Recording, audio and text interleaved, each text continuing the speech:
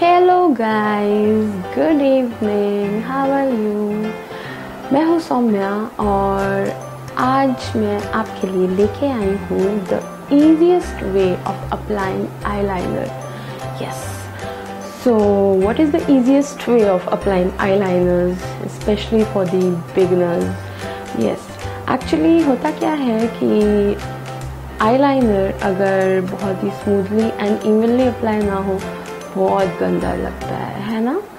और कभी कभी ऐसा होता है कि हम बहुत एफर्ट्स करते हैं कि हमारा आईलाइनर बहुत ही इवन हो लेकिन कई बार क्या होता है कि वो इतना स्मूथ नहीं होता एंड um, हमारा मूड ख़राब हो जाता है यस सो so, आज हम सीखेंगे कि आईलाइनर इजीएस्ट वे में अप्लाई कैसे करते हैं।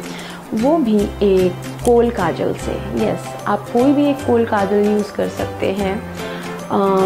मेक श्योर sure कि वो ऐसा हो। यस. आप कोई भी ब्रांड का यूज़ कर सकते हैं कोल काजल, जो भी अवेलेबल हो आपके साथ। तो चलिए, आज सीखते हैं the easiest way of applying eyeliner with a kohl so yes guys I am ready with my kohl and अब हम सीखेंगे कि बिगिनर्स आईलाइनर कैसे लगाते हैं।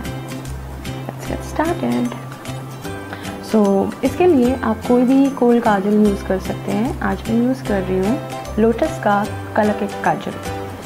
यस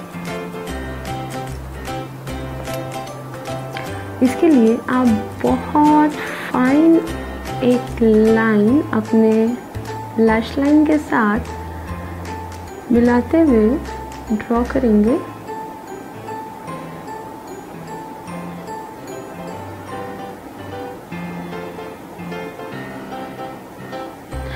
ट्राई कीजिएगा कि आप अपनी लैश लाइन के बहुत करीब रहें।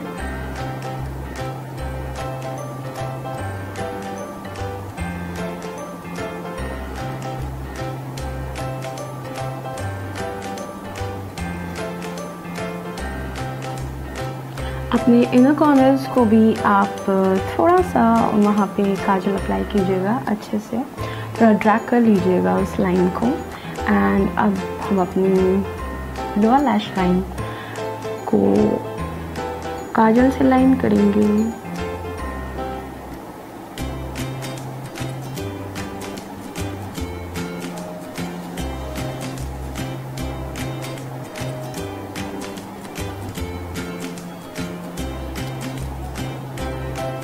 अपने एजेस को इफ़ यू वांट मिला सकते हैं आप for a more cleaner look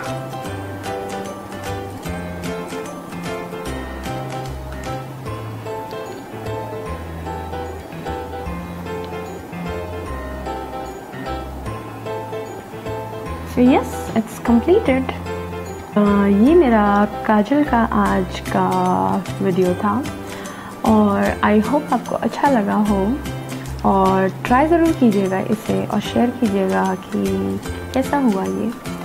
और सब्सक्राइब कीजिए मेरे चैनल को, क्योंकि मैं आपके लिए और भी ऐसी इजी और बहुत ही इंटरेस्टिंग वीडियोस लेके आती रहूँगी। तो आज के लिए इतना ही। So good night and bye bye